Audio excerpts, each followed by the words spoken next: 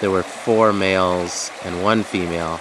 The little ones usually don't get to hang around because the males kick them out of there. Mm-hmm. Last time there were like three or four big males, and then these little jacks, which have only been out in the ocean for a year or two, they're smaller.